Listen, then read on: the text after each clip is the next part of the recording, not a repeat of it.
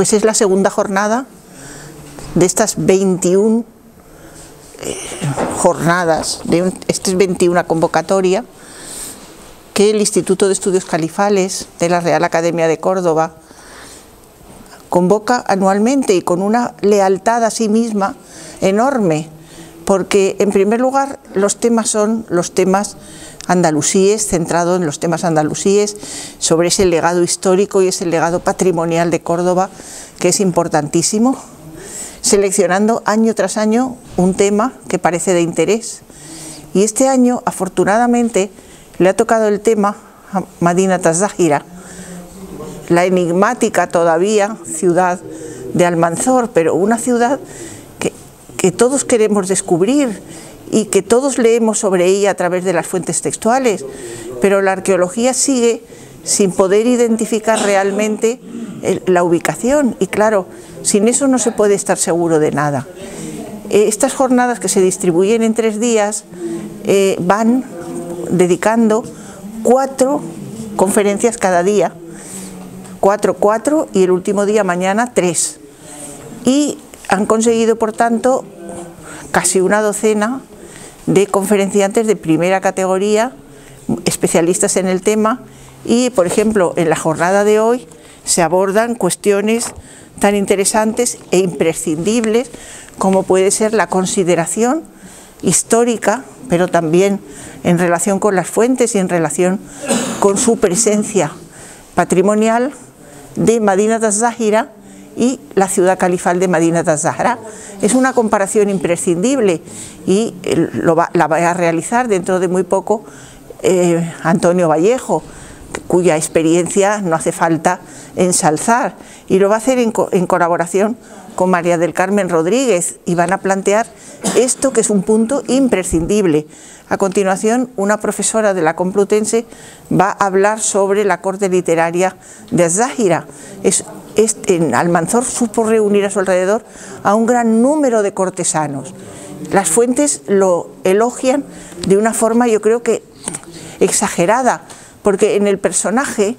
que como sabemos no era califa, pero pretendía serlo, pues pretendía tener el poder absoluto, pues una de las prerrogativas o una de las simbologías era precisamente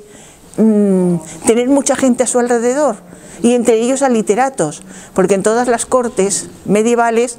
los literatos son los que escriben las noticias, son los periodistas y son los que marcan las imágenes.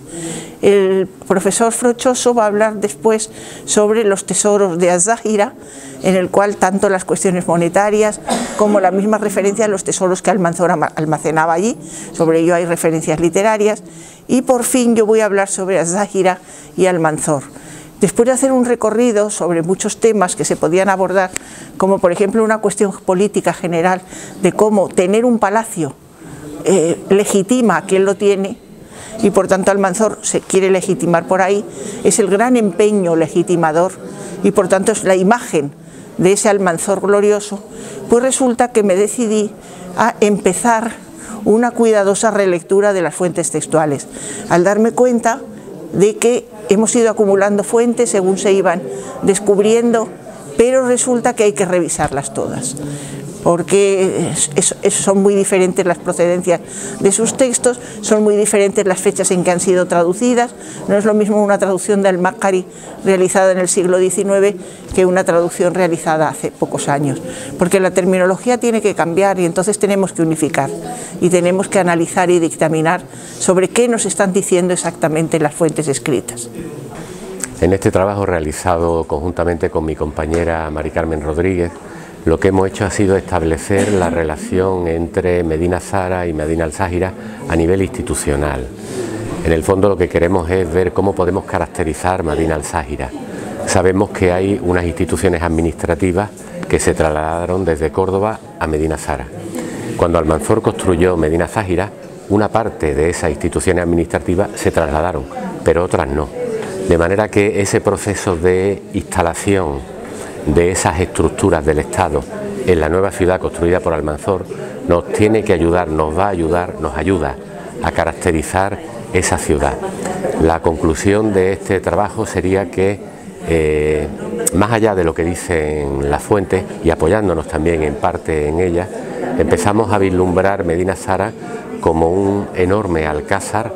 que está rodeado de construcciones planificadas, de las cuales unas son construcciones estatales también, pero otras son instalaciones urbanas. Esto permite caracterizar de una manera nueva la ciudad de Madina al-Sáhira y sobre todo también eh, empezar a vislumbrar cuál podía ser su tamaño y de qué manera, qué es lo que tenemos que buscar para tratar de identificar esa ciudad construida por Almanzor que desde luego se apoyó en el precedente de Medina Zara, pero también incorporó elementos nuevos.